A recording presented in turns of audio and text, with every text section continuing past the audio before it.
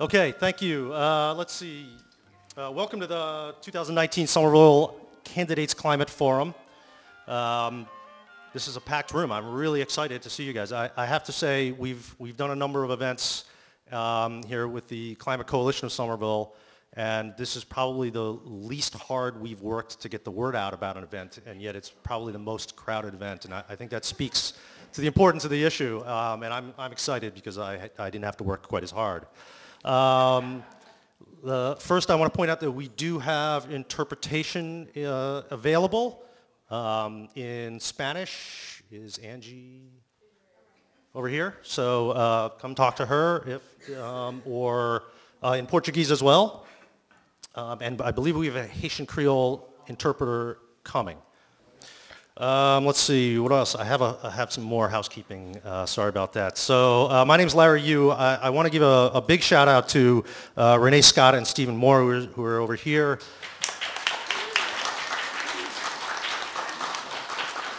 Uh, they're the real animating force behind this event. I'm just the empty suit uh, standing before you. So we are the Climate Coalition of Somerville, uh, a group of organizations committed to addressing the climate crisis. Um, and I can tell that you all share our concern about the climate crisis. Uh, this event is being recorded, uh, so you should be aware of that on video. Uh, we are going to make the video available uh, online, and we're also going to produce a summary report uh, online for anyone to, um, to access. Um, there is a sign-up sheet at the table over there if you'd like to get notified by email about uh, about the summary report when it's available. Uh, we are not making an endorsement. I just want to stress that right now. Some thank yous uh, first to the Visiting Nurses Association for hosting and to the Welcome Project for arranging for interpretation. Those are two important ones.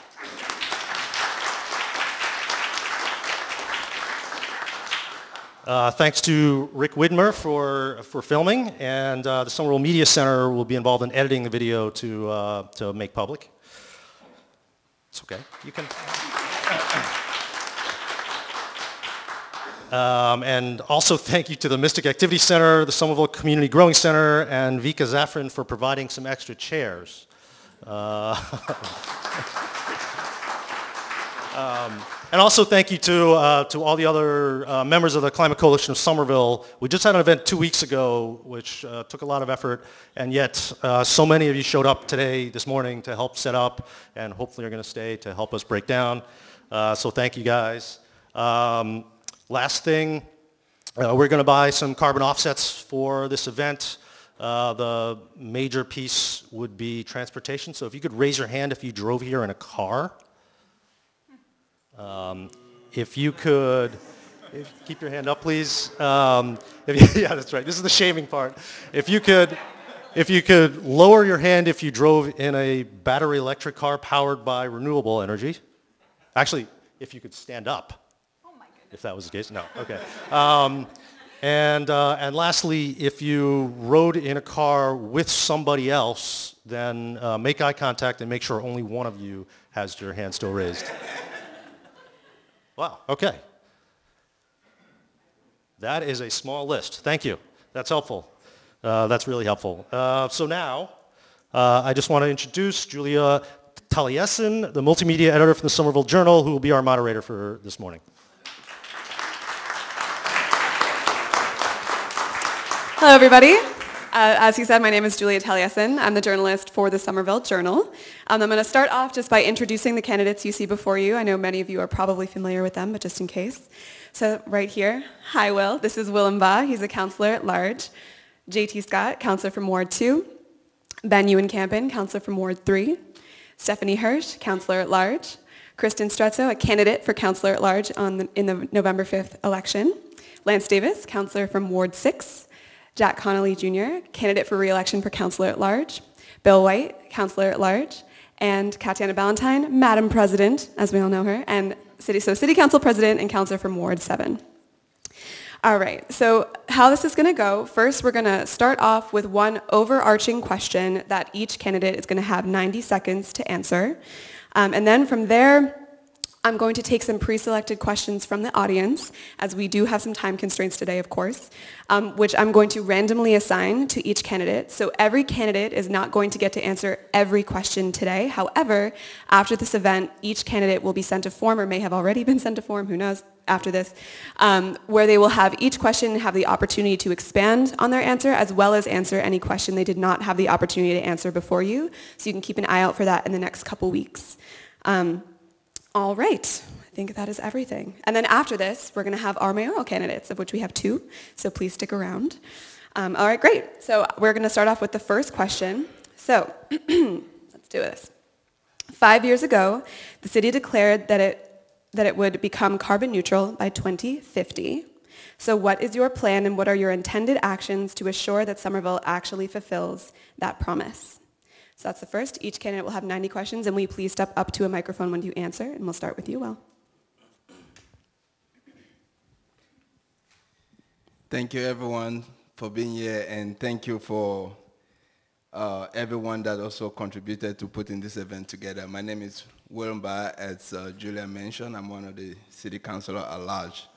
So first, I want to say that my story being, you know, like someone that came from Cameroon in 2010 and moved to Somerville, fell in love with this great community and decided to be involved. I've always been involved, even right back in Cameroon, you know, through different forms of activism in environmental justice, you know, causes. But in Somerville, I must also tell you that that same relationship continued when I moved to the United States. One of the first projects that I worked on when I moved to the city was an environmental justice project.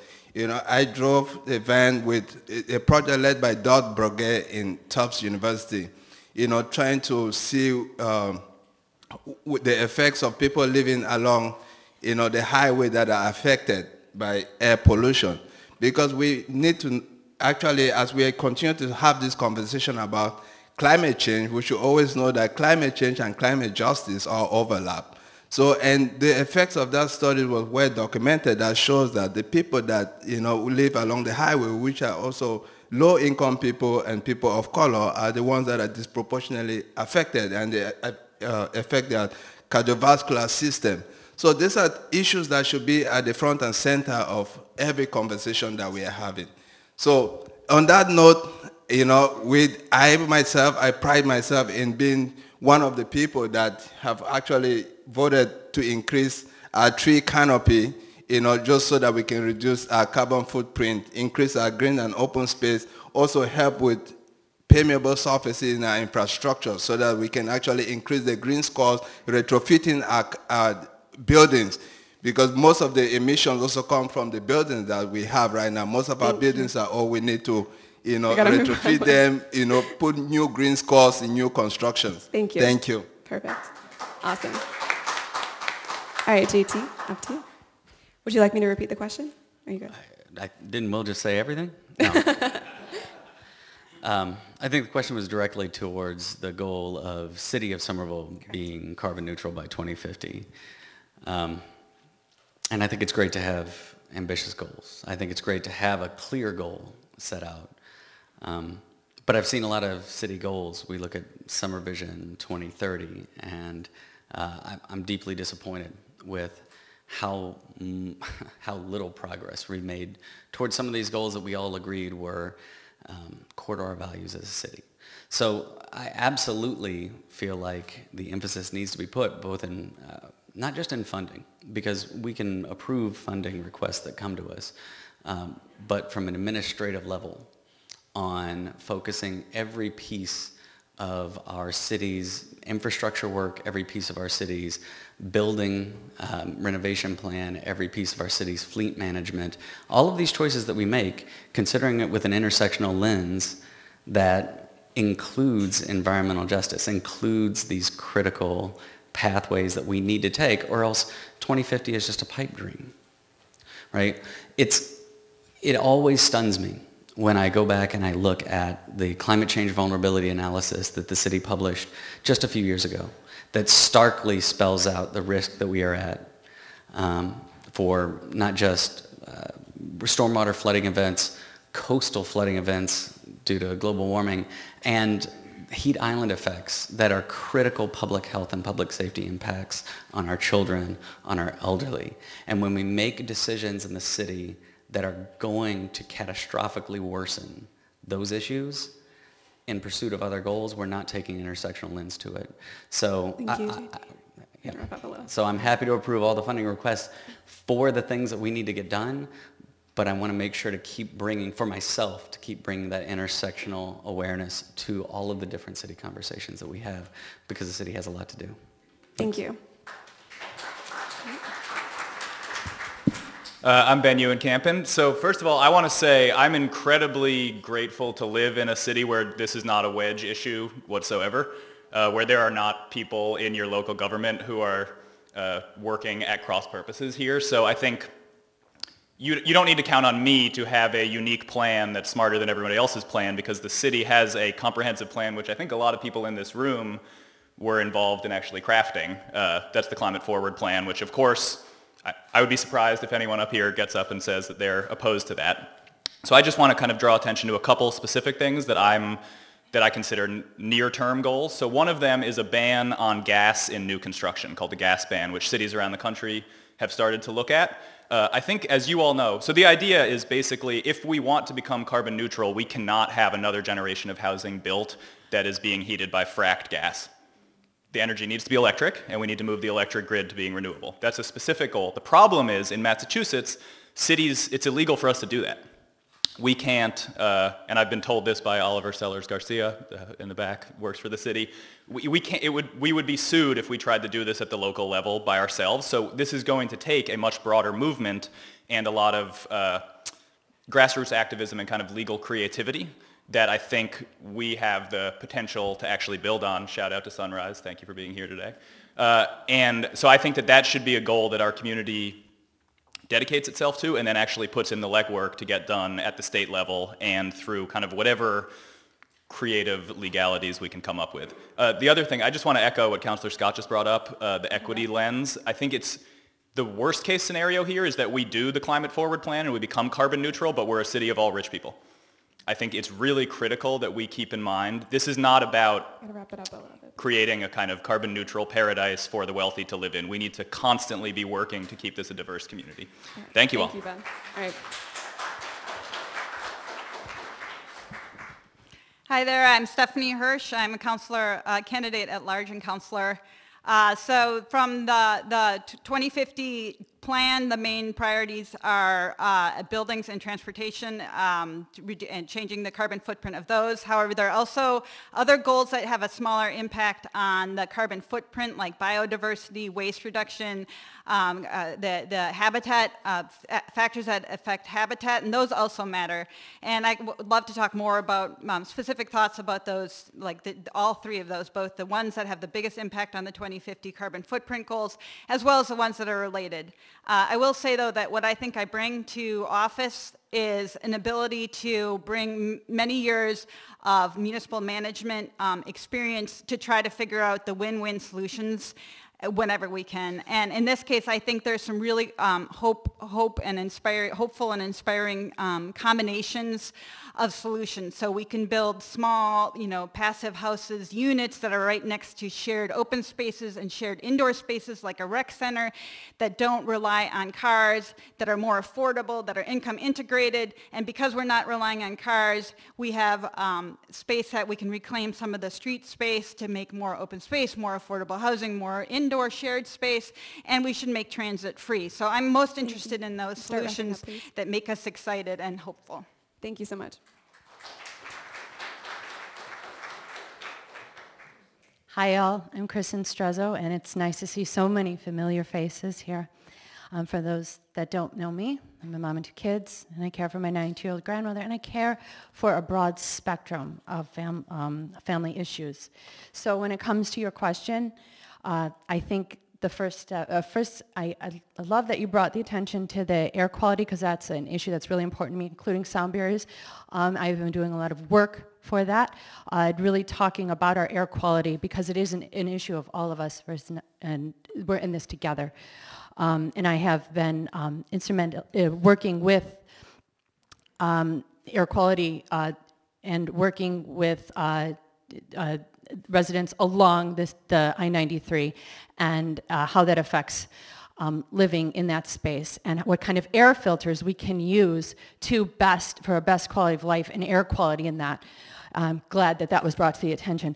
Um, I think when it comes to uh, the future of our city and where we go with this, I think it is instrumental that we start putting in trade school, um, solar and um, renewable energy trade school um, uh, uh, study, uh, not studies, um, uh, programs in, in, in the high school and, and funding that immediately to the next generation. I think that's an essential quality. Divesting, of course, from fossil fuels and any form of fracking, not non-negotiable. And- wrapping it up. And I'm going to work hard for that. I continue to. This is for all of us. Remember that. And I'm honored to serve you. Thank you so much. Thank you.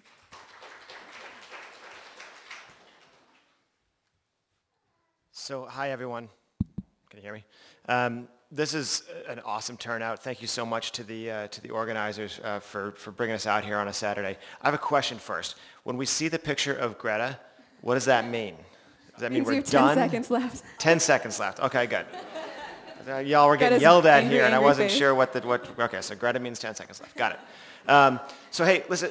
Here's the thing. Um, I brilliant answers by um, my colleagues here so far. The thing with, with climate neutral or carbon neutral 2050 is like that's a drop in the bucket. It's, it's not even everything we can do as a city.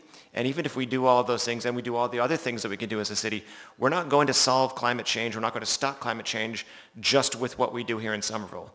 But what we can do, and, and uh, Stephanie mentioned this and Ben mentioned this, is we can lead. We can be creative, and, and, and if it means doing something that gets us sued, well, let's do that. And if it means coming up with new ideas, Councilor Hirsch sits there uh, and, and, and she speaks out of order all the time because she says, well, what, forget all the stuff we're talking about. What if we did this thing over here? It's like, well, that's a really good idea, right? That's what we have to do. And, and if we are willing to take these bold, brave new ideas and actually push them, find ways to do it, and be willing to put, stick our necks out there. And if it means getting sued, so be it. Well, then that's what we should do. And, and if it means keeping these people in committee late night while I rewrite stuff so that we don't have to walk out of the room and come back two weeks later, that's what I'll be able to bring. And, and I'm glad so far that we've had um, you know, had the willingness to, to, uh, to do that. So that's, we have to look across, the, uh, across the, the board of all the different things that we can do with the city and be willing to lead so that other cities will follow that. Good morning. My name is Jack Connolly. I'm a Somerville native and a former elected official and someone who has actually been uh, very active uh, with transportation-related issues, getting people out of vehicles. Back in the 70s, we realized the red line could offer a huge impact. Not only has it done so economically, but it has certainly helped the community and has been a huge economic incentive. Incentive is the name of the game. I've had for over 30 years a solar assist hot water system in my house. And I can tell you, as, as a father of three girls growing up, taking a couple of showers a day, I've saved an awful lot of uh, gas as a result of using that solar hot water system. Why aren't we incentivizing people with perhaps a reduction in the property tax for using some of these alternative means of energy? Why aren't we going to the Commonwealth of Massachusetts and saying, why don't we give people a reduction in their vehicle registration if they use a hybrid or an electric vehicle? These are the things that a city not only can do, but should be doing. We have the impetus here with people here who are running for office, all of like mind.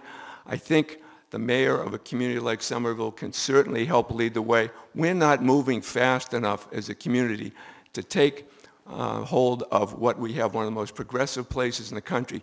Senator Ed Markey has led the nation on climate change events. Let's continue to do so. We can do as a community. I'm happy to be part of that if elected. Thank you.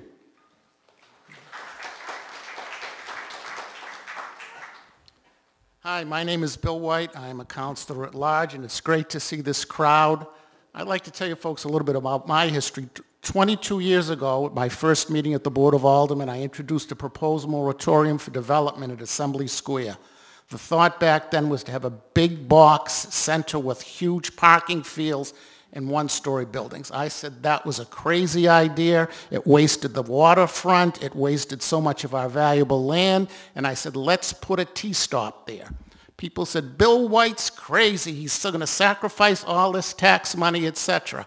Fortunately, it led to the development of a citywide citizens group, a residents group, the Mystic View Task Force, and we fought for a lot of the things that we have there today.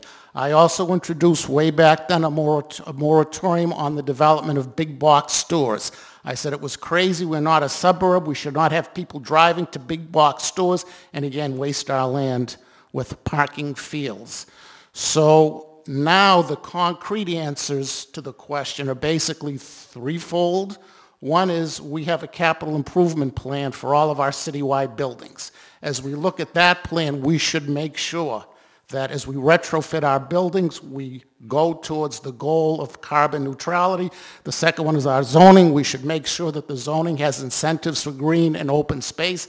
I've seen the green and open space comments on the proposed zoning, and I'm going to go through it with a fine tooth comb. And the third thing is take into account the green line extension and the community path our goal should be to minimize car traffic in the city and take advantage of that. Think about opening our squares to plazas, prohibiting cars, and looking forward to the future to reducing all of our parking fields everywhere, taking into account the, the bicycle traffic that we will now have, especially with the community path Thank and the green line. Cars and, cars and parking lots should really be factored out of our zoning and our planning for the future. Thank you.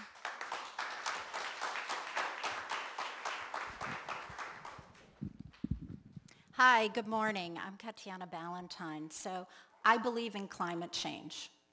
And I live this not only by my actions as a politician, but as an individual. We, my family has been a car-free family for over, well, nearly 12 years now. We're a family of four. When we bought our house nearly two decades ago, we super insulated it. So we ripped the ceilings down, ripped the walls down in order to insulate in between the walls, the roofs, the rafters, the attics, the, the basements. And why are we doing all this? Because the most important or the most uh, problems that we have with climate change is from buildings and is from cars. So um, I walk, I use public transit, I ride a bicycle. So the question was, what are we doing now or what do I plan to do in the next five years? Okay. Um, one, most recently, uh, I work with all of you. I worked with Larry Yu to write the Green New Deal, create the Green New Deal for Somerville. It's a statement of goals and it gives us an action plan to move forward. I also worked um, recently with residents of Ward 7 uh, to submit a resolution on the state level to try to get seven new uh, legislations passed that deal with uh, identifying a framework, um, doing carbon pricing, and coming up with new technologies that are in there that we can work on forward.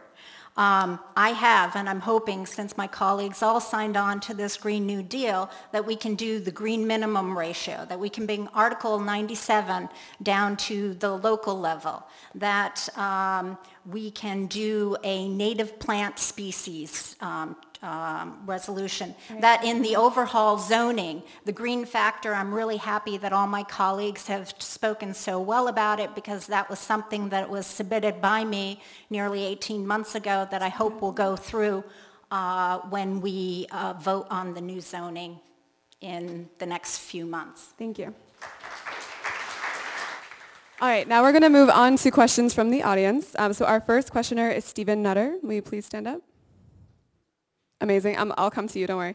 Uh, so Stephen has been a homo homeowner in Somerville for the past nine years. He, he, is the executive director of Green Cambridge, a nonprofit that engages the community of all ages in urban farming, the urban forest, and the urban wilds. All right.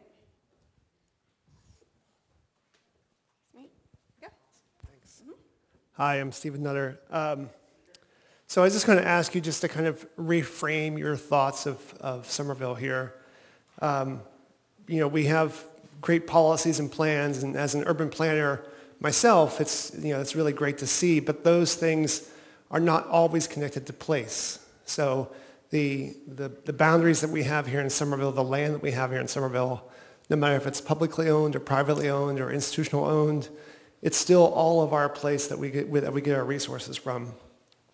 So if you imagine our city uh, as what it used to be, which is a farm and a forest and a wetland and a river's edge, we just happen to have put a lot of buildings and roads on top of all that. It's still there. So if, it's, it's, we've done so much that to the point where Somerville is the densest city in New England, which from a sustainability standpoint is actually really, really good. Um, yet from a natu- the natural environment still offers so much to our city, even though we've paved over our yards and, and, and, and built very large buildings. Um, so we can use these parks to restore our native ecosystems and reduce toxicity in the water and the air. We know these, these things are, are totally true, these are the, the solutions going forward to, to connect our, our public and our, our, uh, our, the, public, the public to place. So if, if broad swaths of residents care about the land inside of our borders and they celebrate our local environment and they participate in the growing cycle, we can definitely make change together in a shared space. So how do you feel we can re-engage residents to participate in the local natural environment? Thank you so much, Stephen. So we're going to start with Will. Go ahead, Will. Thank you, Stephen, for that question. That was a lot of information right there. But I think uh, when I stand here, I'm thinking about a comprehensive plan for the city. We believe, we talked about mass transit. Mass transit, you know, I drove here. It wasn't really uh, I didn't have a choice.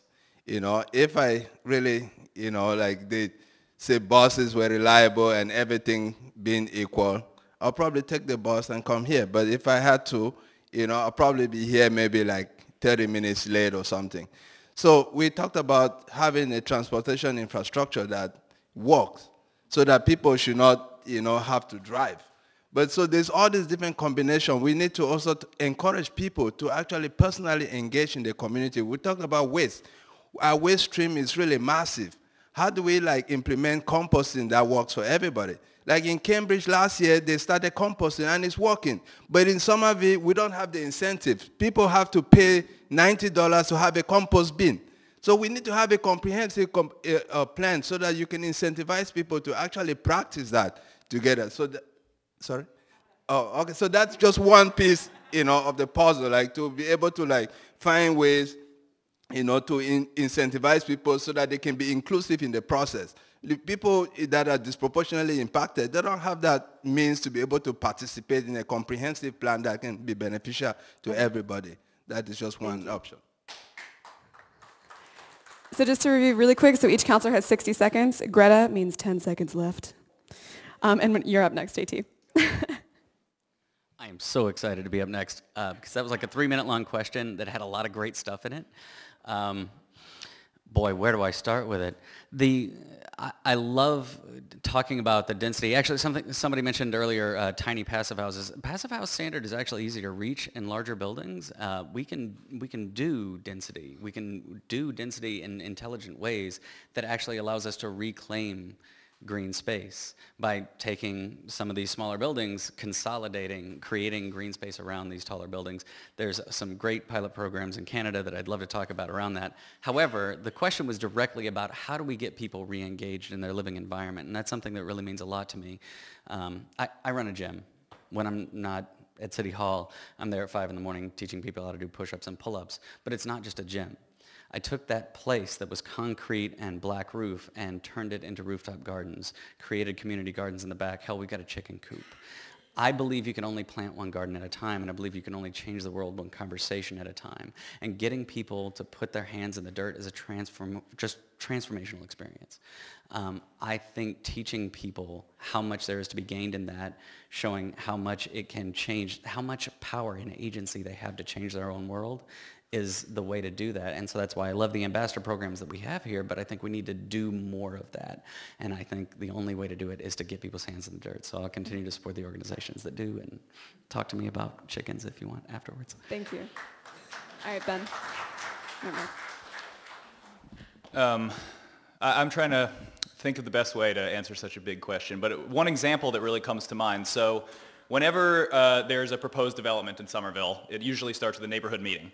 And uh, to put it kindly, a lot of the times the folks who come to these meetings are often coming from a place of fear about what's about to happen to their neighborhood, justifiably so. Um, so I just want to give one example. We recently approved the first passive house apartment building in Ward 3 on Bow Street. And the, the public process around that building, I will say, in a lot of ways was being driven by concerns about parking, about density, about height. And it really wasn't until folks in this room started showing up to those meetings specifically to advocate for passive house standards that it kind of broke the logjam in that case. So I hope that, and that project has been approved thanks to that. So I hope this doesn't sound like passing the buck, but I think you know politicians are sort of necessary but not sufficient to get the community re-engaged here. And what we really need is to work alongside the the, the grassroots activists who are kind of actually the network engaging people. That's one small example, but I think kind of expanding that out to the big discussions we're having about publicly owned land and the future of those and how to balance the priorities between affordable housing, commercial development, and open space, letting kind of uh, these voices into the room in a very loud way is one of the things that we can do. Thank you. Thank you. All right, Stephanie. Ready? Uh, so something I thought about a lot reading the Climate Forward Plan is a, an idea of a geography-based uh, uh, um, carbon footprint inventory versus global. And so there's only so much you can do at the local level. And as I was thinking about it, I was thinking that we'd have a bigger impact in terms of our world um, if we, every dollar we spent actually was on creating passive houses in North Dakota where it's colder, where the cost of housing construction is way cheaper. But there's a reason why we care about doing stuff locally as well, and that's because we want to be transformed and we want to be part of the solution. And an example that's been driving me crazy, but in, during my term and before that was food waste in the schools and lack of recycling and, um, and just the overall waste in the foods. It really doesn't have an impact on our carbon footprint. It's minuscule, but it's just I've worked in the school system. It drives me insane to have these kids, like Katie's kids, throw away food, throw away plastic, and it breaks their hearts. They think they're going to be changing the world. And so food, the, the, the school, school department food is almost all meat, which is not particularly culturally sensitive. We don't have dishwashers, and we could look upstream. We can control every morsel of food that comes into our cafeterias. We could look upstream and make and completely transform and become a leader in this sector, even though it doesn't have an impact on our carbon footprint. So I think we always have to have this like double bottom line in terms of what we're doing, like how much it transforms us and how much it affects affects our carbon footprint. Thank you. All right. Our next question is um, by Tina Liu. Will you please stand up? Tina. Hi, awesome. So I'm just going to introduce you real quick. So Tina Liu and her family have lived in Somerville since 2011. She's a former high school teacher, currently works at the Senior Partner Success Manager for Better Lesson, is a member of the School Site Council at the East Somerville Community School, and her two children attend EC, ESCS and the Capuano. Thank you, Tina. Hi, everyone. Um, so as a Somerville resident uh, who bikes daily to school and to work, um, we are often biking along really busy bike path or busy uh, streets without bike lanes, uh, where we're constantly breathing in car exhaust.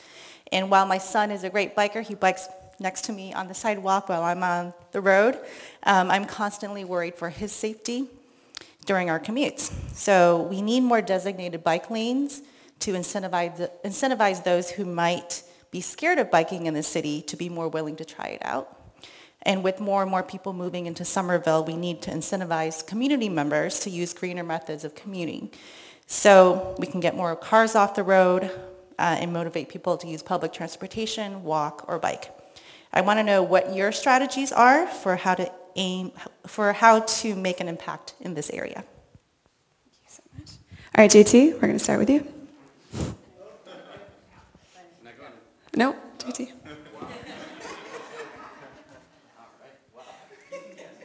Caught, caught me by surprise there. Um, all right, so can you can you just give me the, the last the the last sentence of the final question there?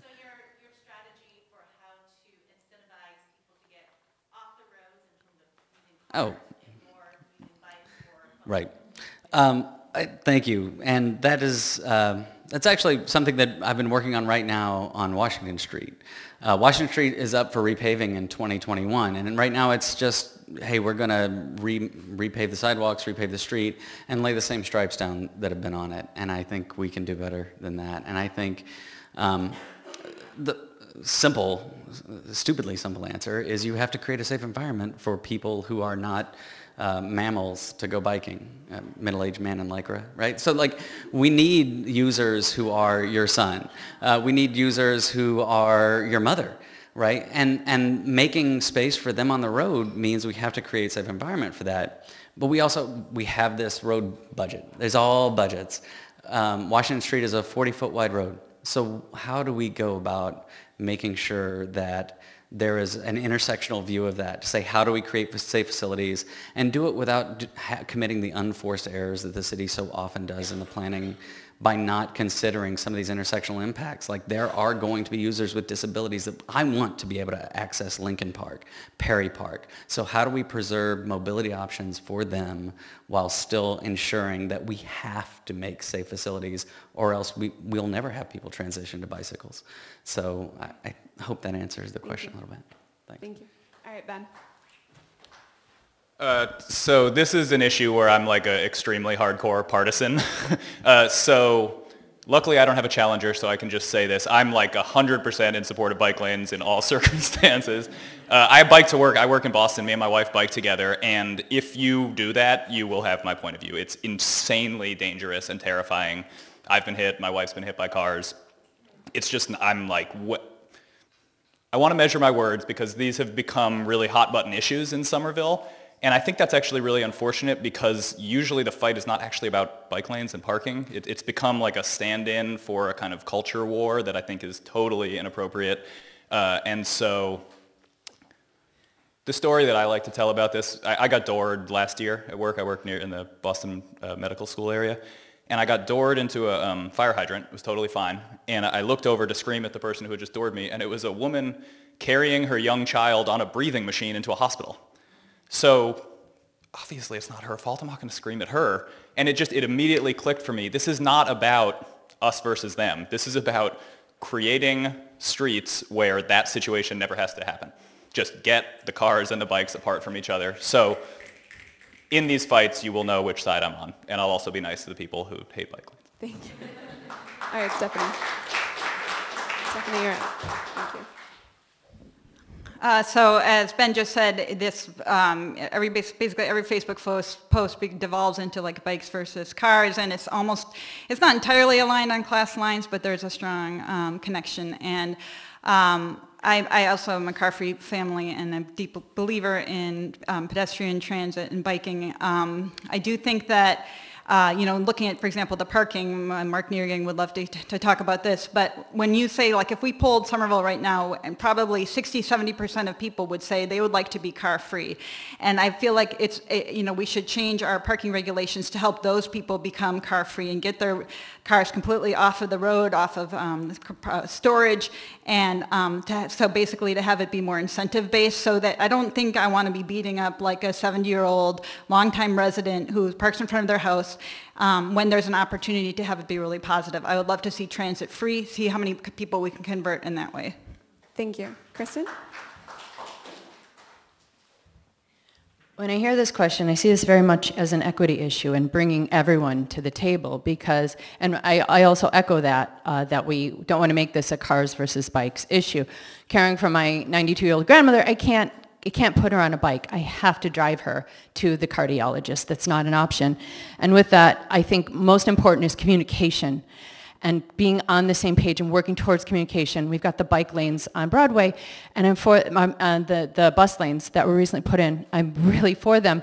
But if we don't have proper communication, my concern is that we're going to have some injuries because if we have drivers confused on how to use them, I don't want a cyclist in any way uh, being part of that confusion in the, in the the bus lane. So, and, and you can all help in this way of getting out the, the, the information and communication out there on, on the, the bus lanes on how properly to use this. This, is a community effort uh, for this. I want more, more safe bike lanes. I want more safe methods of transportation, but we have to do this commun with communication together as a team. And that's, that's one of our, my goals as, as I see this. Thank you so much. All right. Our next question um, is going to be from Meredith Elbaum. Will you please stand up? Amazing. So Meredith has lived in Somerville for the past 18 years. um, albeit with a brief stint in Cambridge. All right, it's fine. Uh, she and her husband own three properties in Somerville, and their two young sons are students in Somerville. They also recently renovated the house to be 100% electric. Meredith is an architect and is currently the executive director of the U.S. Green Building Council in Massachusetts. All right, how am I getting to you?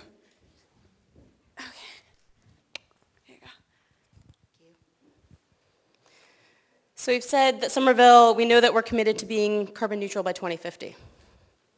And as you know, buildings account for 66% of our carbon emissions. So any building that we build today, right now in Somerville that's not zero energy, that uses fossil fuels, we're going to have to spend money to retrofit that to meet our, meet our 2050 goals. My kid plays soccer. It's kind of like scoring on the other team's goal. That's what we're doing. So a new report released by the U.S. Green Building Council of Massachusetts, organization I work with, says that zero energy buildings are feasible today for low and even no additional costs. The report's available on our website. You can go read it across different building types. And not just that, but if you look at the life cycle of these buildings, they're actually really great investments. You can make money off of them. So the report debunks the myth that zero energy buildings need to cost more money. So with that, what are you going to do to stop scoring against ourselves? And what's the plan for all new construction in Somerville to be zero energy? Thank you so much. So Ben, we're going to start with you. Okay, I figured out the system. Good job. How this works. uh, so thank you for this question. I was, while you were talking, I was thinking the term natural gas of how these built. You guys know what that means? It's fracked, right? This is coming from fracking. This is what apparently we're all opposed to it, but then we like natural gas, and every week we're approving permits for new natural gas infrastructure to come into Somerville. So obviously, I already spoke about a ban.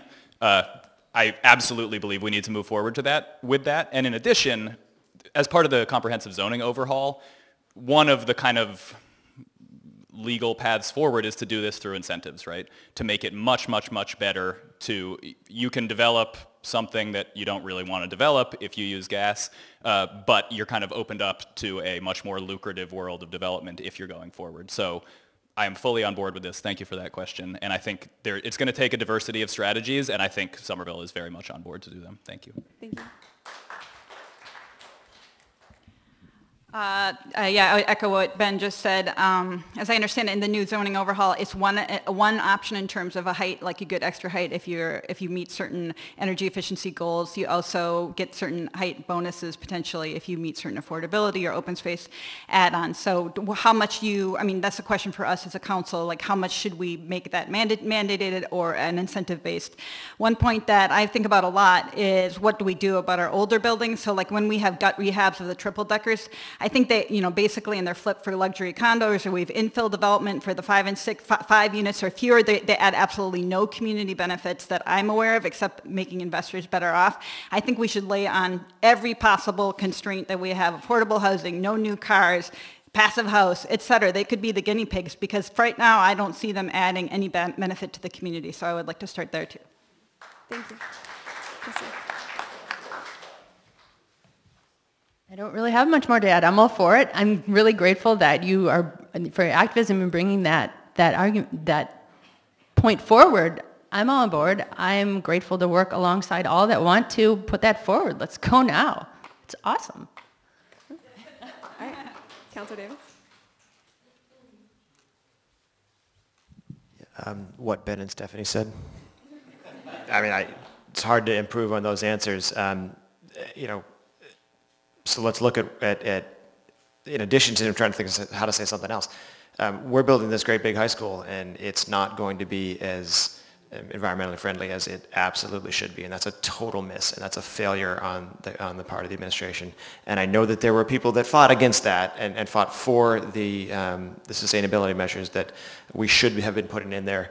Um, it's been mentioned already that we have a, a, whole raft of city buildings that we're looking at right now, a capital plan that uh, is taking a look at city properties uh, across the city. And I'll be damned. If we can't do it ourselves as a city, then we're really missing something out here. I do think that we will see uh, sooner than uh, I think we fear a developer coming in and saying, I'm going to build a, a completely 100% renewable, you know, uh, energy-free building, and once that happens, there's going to be no excuse. So the sooner we can encourage that through the types of incentives that uh, Councilor Hirsch talked about, uh, the better, and, and then we'll be on our way. But let's lead, let's lead with our own buildings first. Thank you. All right, uh, so the next question was submitted by Julie Wood. Um, she unfortunately had something come up this morning, could not make it, so I'm going to offer her question to all of you. Um, but so Julie Wood lives in Teele Square with her family and has been a Somerville resident for 16 years. And she's the deputy director of the Charles River Watershed Association, Association and serves on the city's commission on energy use and climate change. So this is what she wants to say. Um, so although no one really thinks of Somerville as a waterfront community, we have an impressive amount of riverfront shoreline, and some recent developments have made the river more accessible and celebrated in the community. That being said, the city has not always made river protection and water quality a priority, whether it's working to reduce combined sewer overflows or improve stormwater treatment. Investments in green infrastructure, riverbank restoration, and expanding tree canopy would help not only clean the Mystic and Charles Rivers, but protect our community from climate-related weather extremes. So would you support making these investments? What additional ideas do you have to ensure the city is doing what it can to protect the river and prepare to potential future flooding? So Stephanie, we're going to start with you. Uh, that's, uh, I don't know as much as I would like to know about that, so I certainly enjoy being by the Mystic, and I know that like with the renovation of Draw 7, there is a lot of interest, and I think this will be announced. I mean, I think this is going to be the case that the, the, the Draw 7 um, field will be um, an area that can absorb water as there's overflow by the, the by the dam and by the river. Um, the, in terms of water sewer infrastructure, there's both like um, the on-site uh, water management uh, um, opportunities, and we can do that, and that's complementary to what the city is doing in terms of changing the large underground infrastructure, and you can do both of them. Um, tree canopy, we have this amazing group, the Somerville Urban Forestry now committee that has basically outlined a bunch of steps that all seem perfectly right, um, and I think we should do them all, and I'm supportive. Um, so yes, I'm happy to learn and, and support whatever. Thank you. Thank you. Uh, so with that, I, I, see, and I live along the Mystic, and it's awesome. Um, I, I, see riverbank protecting as uh, protecting as well the tree canopy, and with that, uh, expanding on the work of what Mothers Out Front have, have been doing to uh, take to uh, take gas companies to task for gas leaks that are uh, killing the trees. And I believe that it was Denise Provost that put forth a bill this week. Um, we need to expand her work on that. Uh, that would allow that to be uh, possible if we can take gas companies and make them responsible for the gas leaks that are killing the trees, that are affecting the canopy, the tree canopy, which the tree canopy we need and we need to protect. It's a trickle down and making sure that we're all uh, working together to make that, that work as much as possible. Um, I'm committed to doing that and want to work alongside you with that. Thank you. Thank you. Be honest, who here sent us an email when, we, when there was a proposal to raise the water sewer rates this year? Nobody in this room. I'm going to go back and look and keep you all honest. We're dumping raw sewage into the Mystic River more and more frequently because the 50-year storms come a couple times a year now. Don't quote me on that. I'm kind of making that stat up. But you all can relate, relate to what I'm talking about.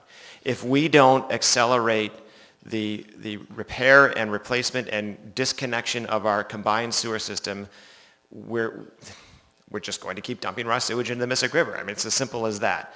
Um, we, I'm, happy to say that, as many you all know, I'm sure, um, finally, after years and years and years and years of trying and failed efforts, passed a private tree ordinance. And it was one of those times when I locked everybody in the room and said, we're not leaving until we get this done. I'll write whatever we need.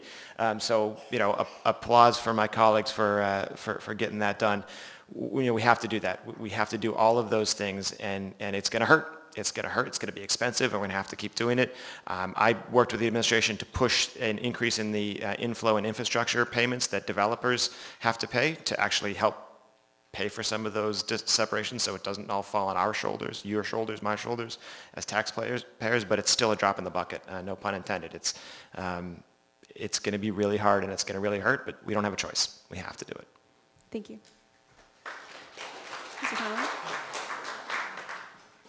As many of the panelists have mentioned, it's the, not the people in this room, everybody here is well aware and it basically is incentivized. How do we let everybody else know? Isn't it time that there could be some sort of a educational curriculum, especially starting in the school systems, where young people can be made aware of the terrible and environmental impacts that the sewer overflows going into the Mystic or the problems. Sure, Deer Island has made an incredible uh, uh, increase in the quality of water in, in, in the greater Boston area, but still, there are days when the bacteria count is way up because it's still going to cost additional money. So we have to give people an incentive, and maybe you have to give some type of a, uh, a property tax relief for those people who do take the time and energy to put into adding additional uh, uh, improvements to their sewer systems in a private development or as a community, we have to do more ourselves. I think the impetus is here in Somerville. Thank you. Thank you. So before we move on to our next question, I just want to remind everyone again that we do have interpretation available in Portuguese, Spanish, and Haitian Creole. Will our interpreters please stand up just for a moment? Thank you so much. Okay. So our next question is um, from Ben Echevarria, who's way back there. All right, I'm going to make my way back there. So Ben was born and raised in Somerville. He is the executive director of the Welcome Project, a community-based organization that works to build the voice and collective power of Somerville immigrants to participate and shape community decisions. Thank you. Thank you. After Hurricane Maria destroyed Puerto Rico, it's estimated that about 7,000 uh, Puerto Ricans left the island and moved to Massachusetts. More recently, the Bahamas were decimated by Hurricane Dorian, and the Baham- and Bahamians have so far been denied entry into this country. As we see more hurricanes and harsher weather as the effects of climate change take place, what do you think we can do as a city to accommodate these climate change refugees?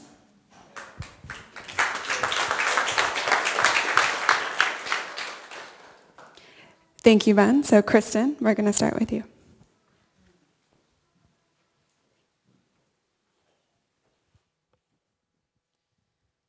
Everything. I think we should do everything we can possibly to. I think that if it's necessary, that we should put more money into the budget and consider that, putting more money into the budget to do that, and also um, asking asking what we can do, because it's not assuming what we need; it's asking what our refugees need from us and how we can be. Um, I think it starts with the budget, and we go from there. Thank you. Thank you.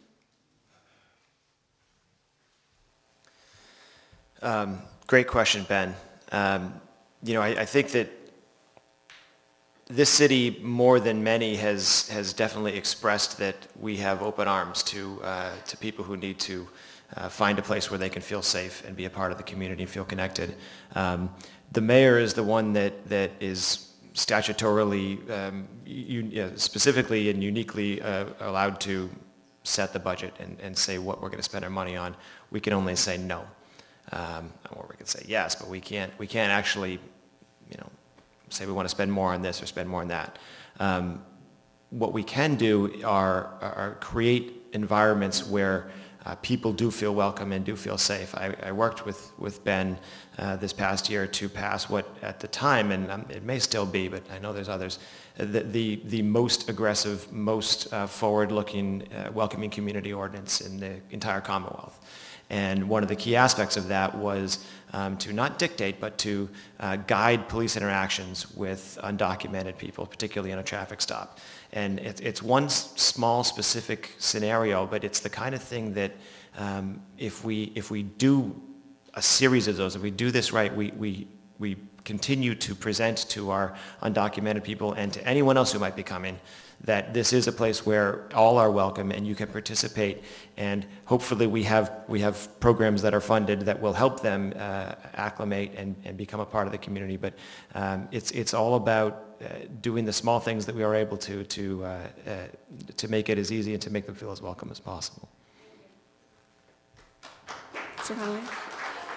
Uh, well, Ben, thank you for the question. Until you mentioned that 7,000 figure, I don't think anybody had any idea of just how many people uh, did land here in Somerville. So obviously, if there's 7,000 in Somerville, there's probably thousands in Cambridge and Boston as well who uh, landed here as a result of the problems in Puerto Rico. It's a regional issue. We have to work with our surrounding communities, Somerville, Cambridge, Boston, for uh, place. Just like when there's a, there's a fire, the Red Cross is immediately available to help people move out of that uh, building and somewhere at least on a temporary basis to provide the shelter.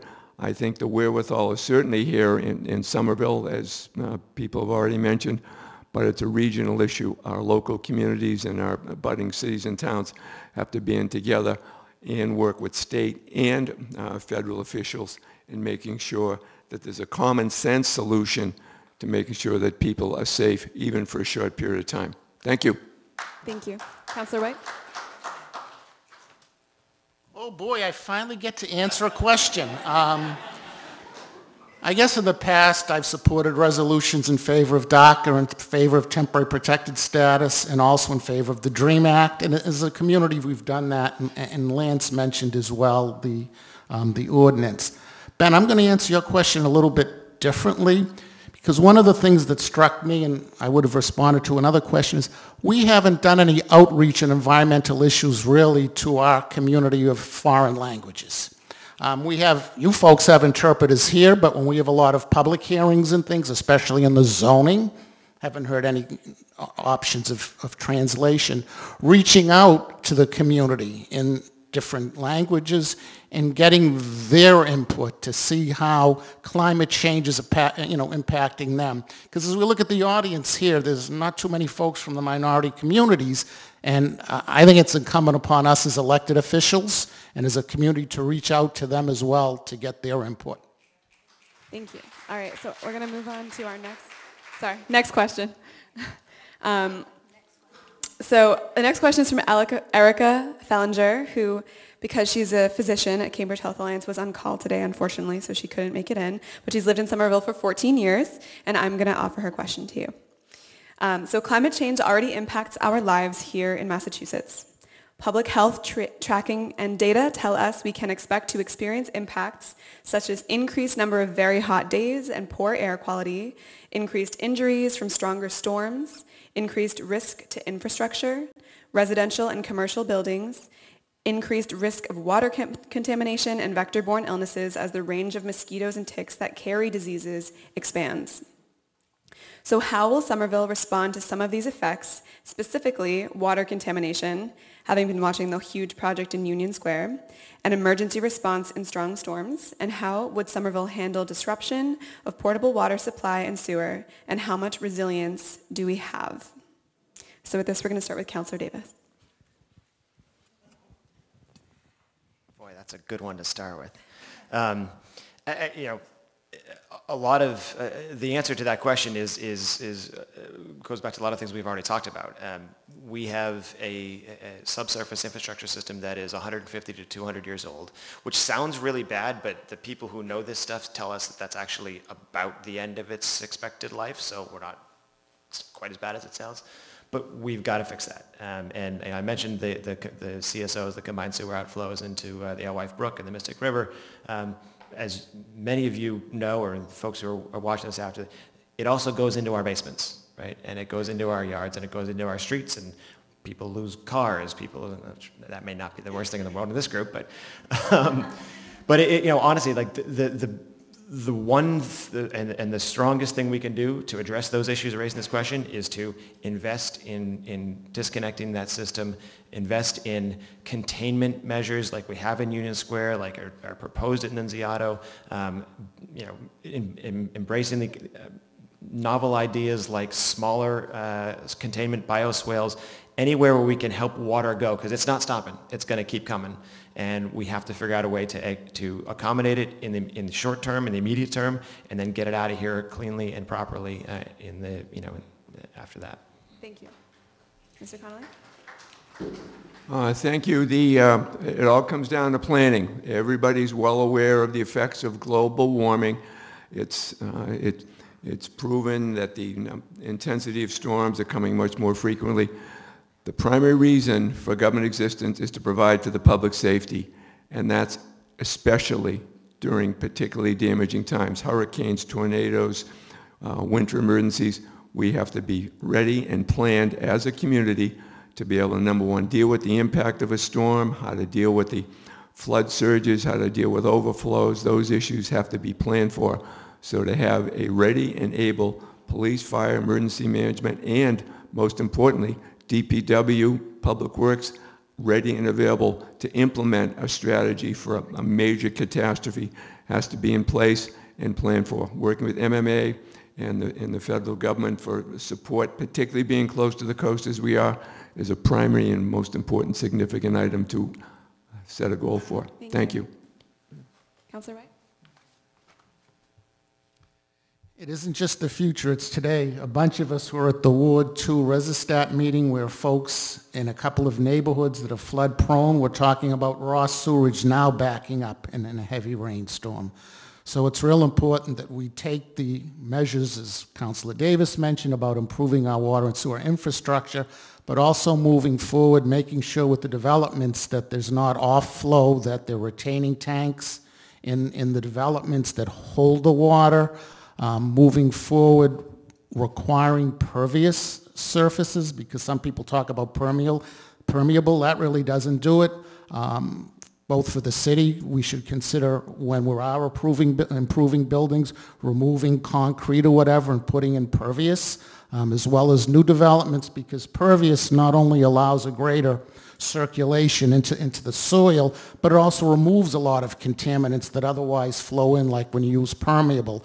So those are things as we move forward, both in the zoning and again in our capital improvement plan, that should we definitely take into account, and also have an emergency response plan set up for things like making sure we can provide uh, sufficient water, and working with the state along the Mystic River to make sure that their plans for development and improvement along the Mystic River take into account global warming and the flooding that's going to take place. Thank you. President Ballantyne? Um, Thank you. So I'm going to sort of switch the topic a little bit. It's about this, but it's how do we get to it? We haven't talked about revenue generation. We need more revenue.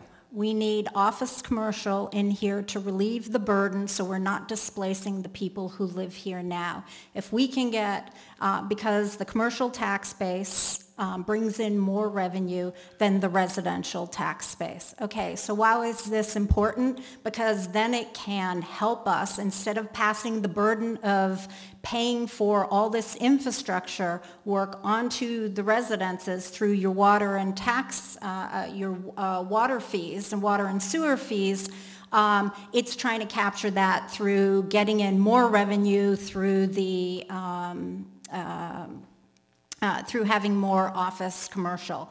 Um, stormwater design. Uh, we fight so hard to try to engineer everything. It would be great if in Union Square and also in Ward 7 along Alewife Brook, as we're looking to redevelop the public housing there, that they actually use the stormwater as a feature or part of uh, their design instead of always trying to redirect it. We can't always engineer our way out of things. Thank you. Thank you. So our next question is from Josiah Adamopoulos. Will you please stand up? Hi. Uh, so Josiah um, has been a renter in Somerville for the last three years. She commutes by bicycle to her job as a senior data analyst at the Massachusetts Behavioral Health Partnership in downtown Boston.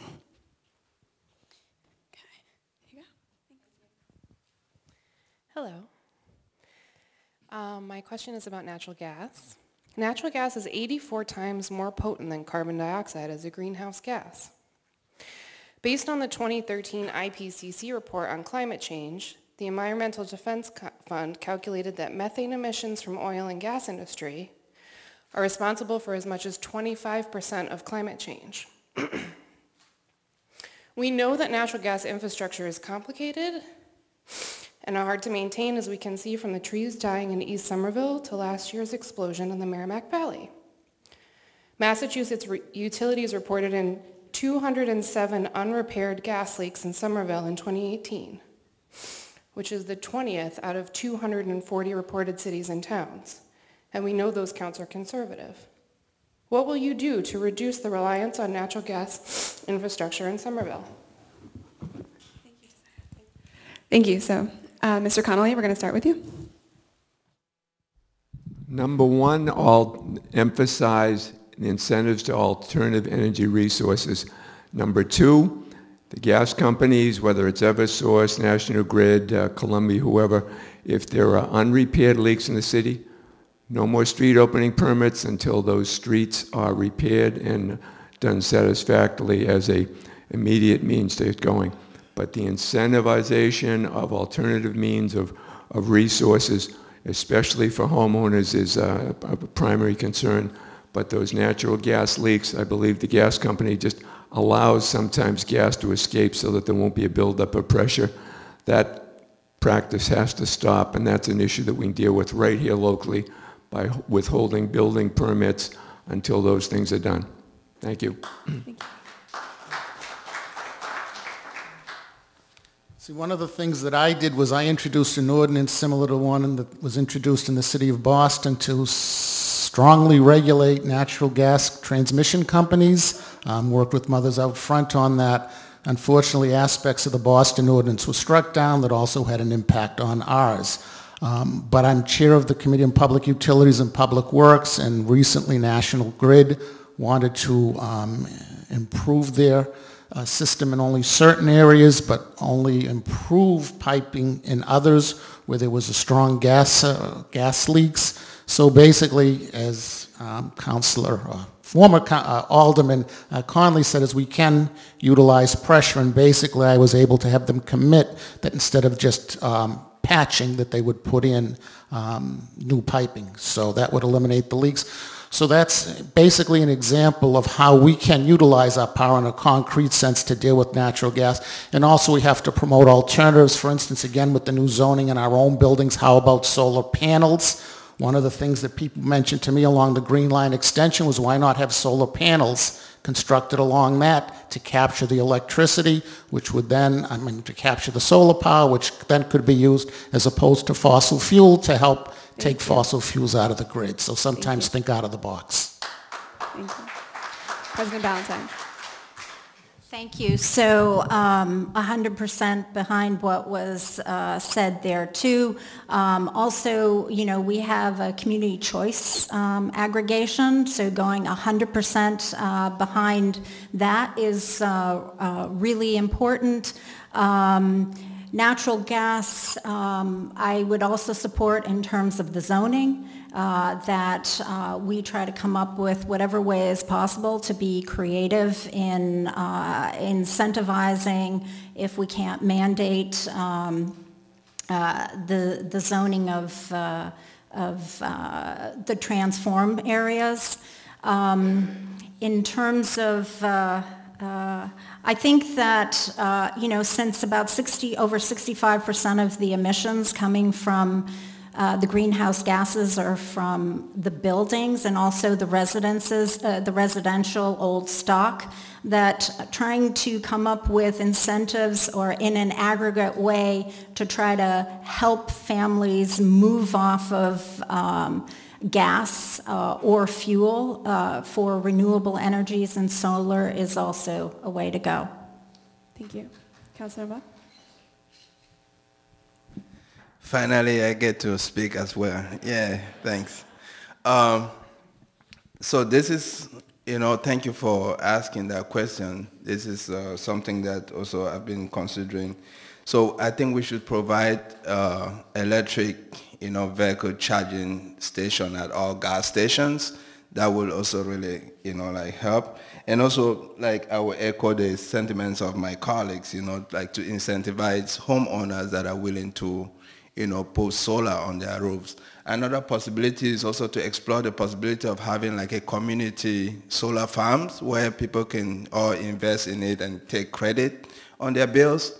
And uh, there's one thought that I have which is a little controversial, but I need to think through it really well. I implement like a carbon tax, you know, while also considering a low-income community that can get maybe some form of a rebate at the end of the year because that's something I don't want us just as a city to implement a carbon tax here and then somebody goes to water Waltham or or some other neighboring city to buy gas. You Thank know, you. we need to be able to have a comprehensive plan that works for everybody. Thanks. Thank you. All right, our next question comes from uh, Monty Allen. Will you please stand up? Responding. Hi. Uh, so Monty has been a homeowner in Somerville with his family for three and a half years. Um, he is a retired senior director of development for CARE, which focuses in large part on the impacts of global warming on poor populations worldwide. And he was a member of CARE's delegation to the 2014 United Nations COP20 climate talks in Lima, Peru. Thank you. Uh, Thank you. Um, I think uh, Meredith Elbaum did a really great job at laying the case out for why uh, reducing and ultimately eliminating greenhouse uh, gas emissions from buildings has to be a priority. Uh, And so obviously our policies need to reflect that. Uh, But there's a related consideration, and that's how to encourage and motivate building owners and landlords to maximize the energy efficiency of their buildings and to increase uh, their use of renewable energy. It's one thing to recognize the merits of retrofitting buildings toward carbon neutrality, but it's another thing to persuade building owners to actually engage in that effort. This is a, an area that I've given some thought to and would- would like to be involved in, but I'm interested in your thoughts about how we might proceed. So if you were elected, how do you think Somerville should actively go forward motivating and persuading building owners to invest in the carbon neutrality of uh, their buildings and in the uh, uh, maximum use of renewable energy? And what do you think renters can do to motivate their landlords to make these investments? Thank you. Councillor White? That's an excellent question. It's something I've thought about for a long time because I think as Councilor Ewen-Campen said, our hands are sort of tied because of state regulations. So that I don't believe in, in converting, for instance, or improving a gut renovation or whatever, you could put those requirements in that the building be carbon neutral. So what we have to do is think about incentives. How can we incentivize um, homeowners to do that? And one of the ways to do it is through grants. Basically, you can have no interest or low interest loans to homeowners who would, say, take steps to make their buildings, you know, more carbon neutral. Um, it would be nice if you could give them a tax break, for instance, on their property taxes. Now, that's not immediately available under Somerville law, um, I'm sorry, under state law because of the Department of Revenue regulations, but it's something that we should really consider about a home rule petition to allow us to do that, because if we do that, other communities may do that as well. So, you know, we can always try here in Somerville, but the most effect would be if you could get things statewide, especially in a lot of the urban areas where they already have homes like we have that were built 100, 120 years ago, which have older systems, heating systems, et cetera. Thank you. President Ballantyne? Thank you. I, I've spent a lot of time thinking about this too because a decade ago I was working in Roxbury with Alternatives for Community Environments and Chinese Progressive Association in Chinatown and Boston Workers Alliance to try to employ local people uh, to in the green economy, and it was uh, to develop a uh, business where they could be employed in weather uh, weatherizing. So using the money that is gathered through Mass Save.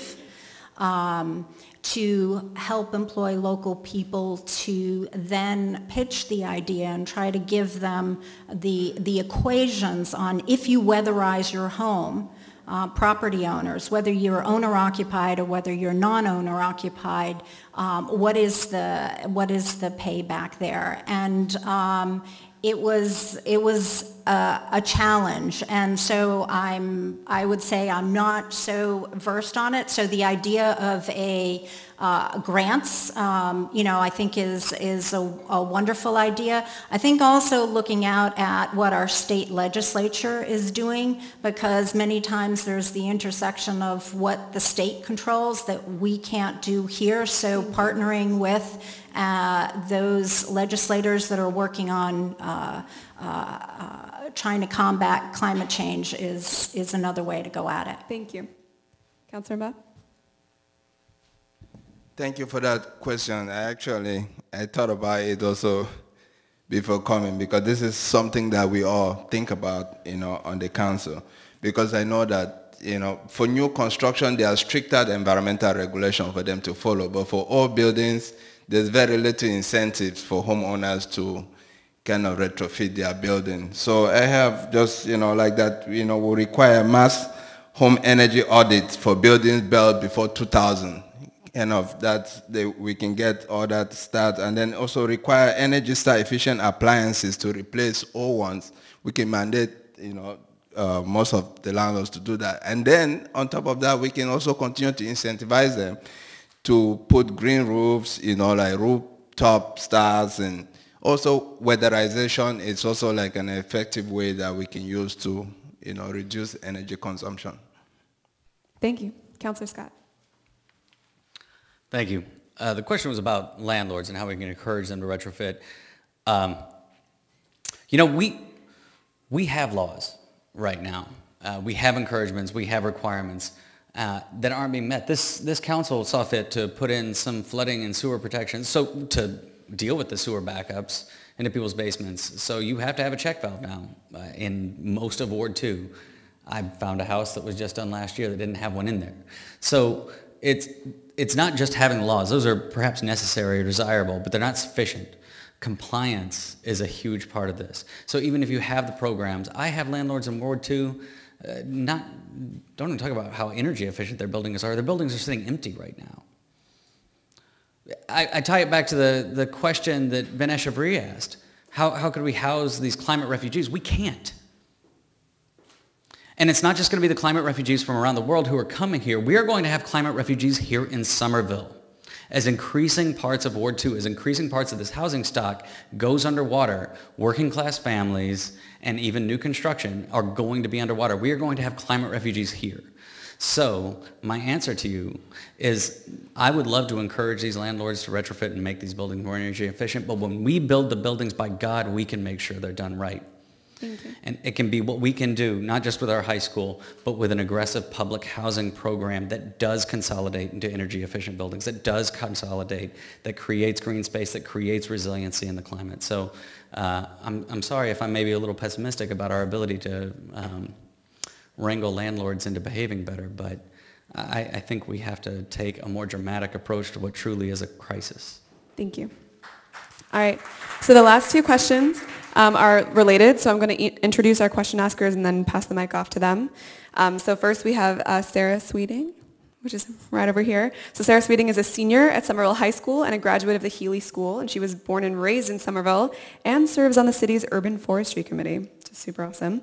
And then our other question asker is Stefan Cinnamon, who has lived in Somerville for 13 years.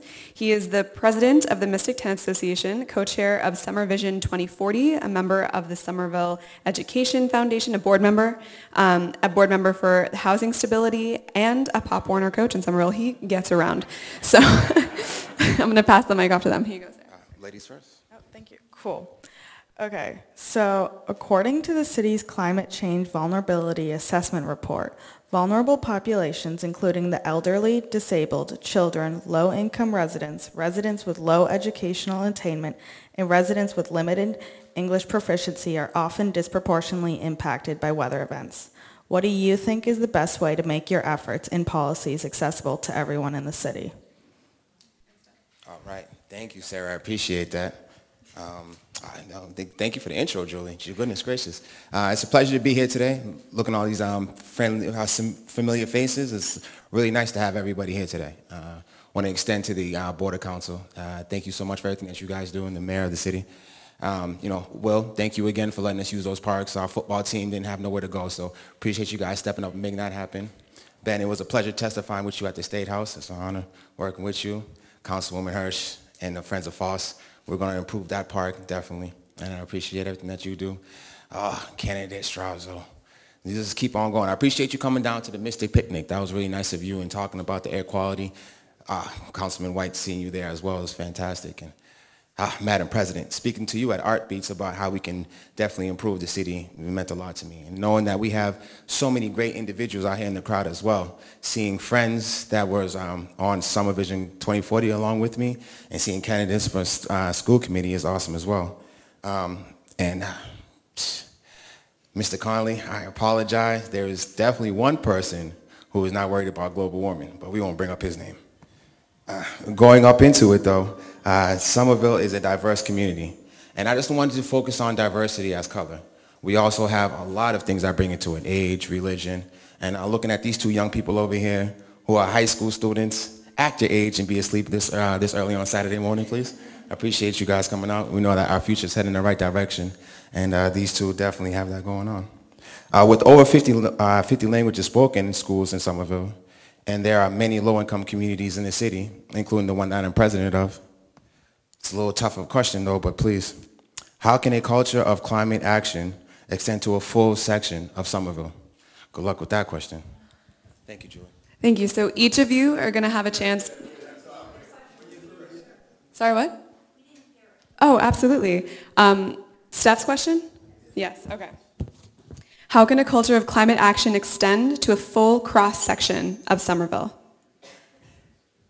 Um, so each, I'm happy to um, reiterate uh, both of these questions. Each of you are going to have a chance to answer them with 60 seconds each. So we'll start off. Do you want to start, Will? Okay. Do you want me to repeat the question? Yes, I heard the, the first one. Stephen, your question is, eh, no, no, I, I got the, f- I got that one. Yeah, Steph, yeah, can you just repeat your question? Yes. Uh, so uh, my question was, how can we create a culture um, for climate action extend? How can a clim- How can a culture of climate action extend to a full cross section of the Somerville? So, uh, great plan for us. Thank you.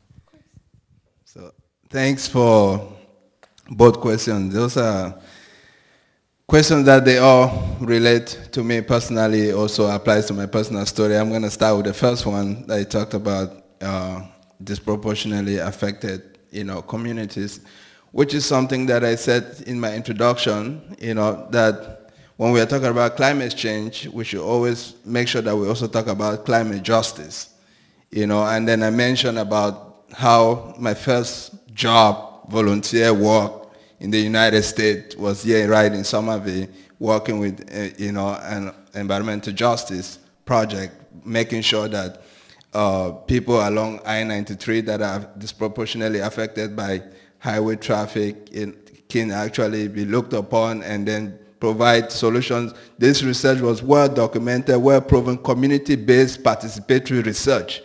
And so it, it speaks volume because then we saw that these are we need sound barriers around those areas. You know, we need filtration because those are like the, these are the same people that you know nobody talked about them. They don't make the news. We here we should be able to advocate for them. And so on the grand scheme of things now to relate now to Stephen, this is like a segue. We have to just wrap it up. Okay, so we have to relate really segue. It's like we need more outreach, you know, to be able to like bring people to the table. Like Councillor White said, when you look in here, you really the people that we're preaching, we're preaching to the choir. So we need to have more, you know, engagement, more outreach. Go out, you know, like to these communities and ask, you know, like Sorry. engage them in conversation and Yeah, know move exactly what is going on and how we can help them. Thank, you. Thank you. Sorry, I'm going to be a stickler because we're running out of time. I'm sorry. It's okay. Councillor Scott, go ahead. In my very first, I, By the way, thank you for both of those questions. In my very first answer tonight, I talked about that climate change vulnerability analysis. And I talked about the need to have an intersectional understanding uh, when we make all of these decisions. In my last answer, I talked about, was it, I said, talked about public housing, and that's it. That's it. Somerville was not built according to a plan. We, somebody at the very start of the night talked about uh, how this was farms and rivers. And then basically in the period from 1880 to 1920, we went from that to what we have now. If we are going to transform Somerville into a resilient community, one that has equity, that brings along everybody and makes room for the people that we need to make room for, we do need to take a larger, a larger view of using our resources of land, of energy, and I think a lot of that has to come from an aggressive public housing program so that we can get it done right and make sure that what gets built serves everybody in the community, both from an energy efficiency standpoint, a density standpoint, and from a green space standpoint. Thanks. Thank you. Councilor Scott. Councilor Ewen-Campen. So thank you for these amazing questions. So if we do everything that we talked about here today, uh, but only rich people live in Somerville, I think we failed. And I think we need to think about Somerville as a place, if you're born here, it's like a lottery ticket. You get to, this is an unbelievable place to get to spend your life. This kind of community, these schools, these resources, this kind of vibrant community, that should not be restricted to rich people. so I think what we need to do, I want to bring up the example of the community benefits agreement in Union Square. The strategy there was we're not going to take just one or two wins in one of these sectors we're going to look at all of these issues together and it's going to be everybody in, nobody out. So that means affordable housing, that means good local jobs, that means worker-owned cooperatives, that means environmental justice, that means good public transportation, that means immigrants' rights, and you can't just take some of them at the expense of the others. So I think we need to kind of have a solidarity mentality for all of these issues. We can't approach these as one-offs where we say, all right, we got a passive house here and so we're good on all the other stuff. We need to kind of Thank stick you. together on all these issues. Thank you. Thank you. Councilor Hirsch. Uh, great questions. First, I think, I don't have the data, but uh, low-income households in Somerville probably already have the smallest footprint of everybody. And so maybe the first step would be to, just say thank you and what can we do to make it easier to you to live? Do, do you, is it free transit? Is it uh, a heat pump that gives you air conditioning in the summer? And speaking of um, where Steph go? The SomerVision 2040 housing is the number one thing for me. So like if you look at, right now we're on a path to have 10% affordable housing in 2040. And if you look at, right now we have uh, 67% low income, 50% in our school system, 50% of our students are first language, not English. If we go down to what Concord's numbers are, which has the same percent affordable, that's 4% low income and 5.6% first language, not English. So to echo Ben's point, let's you know keep our families here first. Second tell us uh, we can ask them. Hopefully people can become in leadership positions. Say what can we do to help you continue to live and live well in your small carbon footprint? How can we learn from you all about how to live with five people in a little tiny apartment? Thank you One last time, my name is Kristen Strezo, and I hope I'm not counted against, my students aren't counted against for adjusting the mic. Okay, uh, I love your questions. Thank you for asking them. And Steph, wherever you are, thank you. Because we have to talk about, my goal is to, I respect the work of the City Council, and I'd be honored to work alongside you. I, I, I respect you all. Um, and with that, I want to bring equity to the table with that. When it comes to the, the Somerville Housing Authority, they don't even have, when I've talked to residents there, they want to recycle and they can't. There aren't recycling programs there. How about we start there with the basic concept of being able to recycle and bringing forward what, what, how we all want to work to be able to, to eliminate our carbon footprint. We're all thinking about it, but we're not asking everyone the questions and that's a problem. My work is, is to work and bring with access accessibility. That's huge. We need to make sure that accessibility is an issue. We want to be able to walk and bike and, and, and do that throughout the city. Thank but you're right, people with ADA needs and strollers, that's not always possible. We have to keep that constantly in the dialogue and how we can work with that. Thank you. Thank you. Thank you. Thanks, thanks again to the organizers for this. This is really great. Um, some fantastic answers from everybody. Um, to the, the translators here, um, raise your hand if you translated for anybody today. Nobody. This is one of my biggest frustration points at the city council. We sit there night after night after night after night, and we, we debate issues and we talk about ideas and legislation, and we have public hearings, and we get emails, and we get emails, and we get emails, and look around this room. This is the people that we hear from. Now, you all have a specific focus on a very important issue, and it's incredibly valuable to us to hear that. But generally speaking, overall, we hear from such a small percentage of the population of this 85,000 or whatever we're up to in now city. It's, to Steph, to your question, it is critically important that we are willing to make decisions, to stick to our guns, to vote the way that we ran in our campaigns, to not change positions that we had for years because we got 60 emails or 100 emails from people. 10,000 people in the city voted for Donald Trump. And when we hear from people, we can't back away from our values based on the small percentage of people that, that decide to speak up for whatever that issue might be if it's inconsistent with what we've said we were going to do, if it's inconsistent with what we know is right, we have to be brave enough to stick to our guns and to take those Thank actions. You. Thank you, Councilor Davis. Mr. Connolly? Uh, thank you. You know, in, in, just less than 50 years, 50 years ago, people were laughing at any of us who grew up here in Somerville. We were made fun of because of where we lived. People couldn't get out of town fast enough when they got out of high school because it wasn't a desirable place to be. It was wise guys and winos who were basically the story in Somerville. Well, a lot of us, many of the people that are in this room have spent the last couple of generations working to improve the quality of life by letting everybody know of what the city has. And it's letting everybody know whether you're a senior or you're a first grade student that there are opportunities here in Somerville. And you know what? With 4.2 square miles and 85,000 people, it's not always easy to communicate. But the important thing is we as leaders in the community have a responsibility to do that, and that's basically what I think a lot of us have tried to do over the years.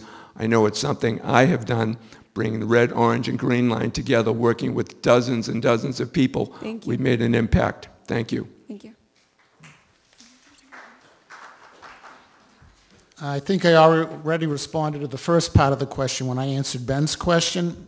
The second thing to keep in mind is this, and early on, I see Rep. Provost was here, so we were advocates for the Green Line, and one of the arguments was for economic justice, to bring rapid transit to folks in the poorer parts the, you know, of our community. And if you think about it, the Green Line is perhaps, if we don't do something, the most economic injustice act because it's leading to tremendous gentrification in the city already. And think about what happens when all of those Green Line stops are open and you're going to have a lot of folks with a lot of money who are going to want to live in Somerville and they're going to want to rent properties. So working class folks will be totally priced out. Seniors won't be able to afford to live here. So we have to take that into account.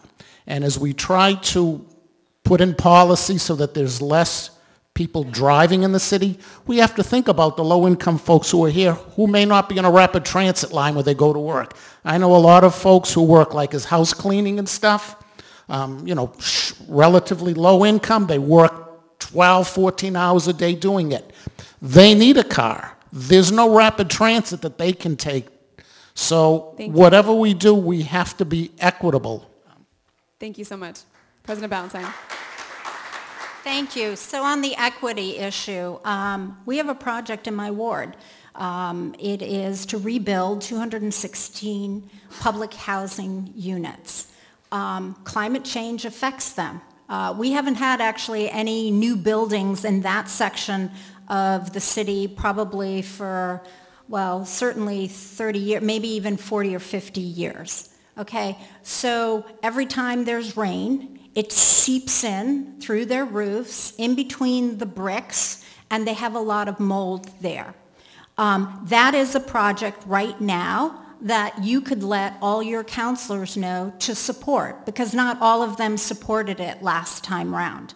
And so now it's up before us again to try to support that project going forward. That is equity for all.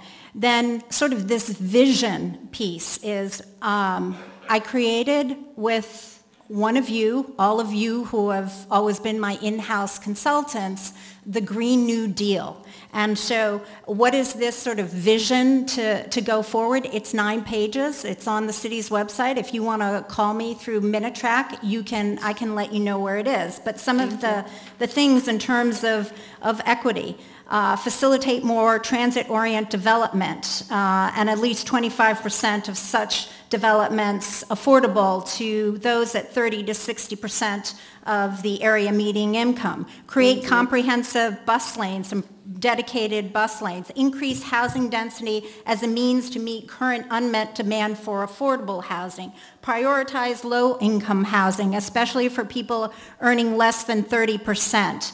You know, there's, there's like 50 items there. There is a vision there. So um, please uh, look for that. Thank you. Thank you so much.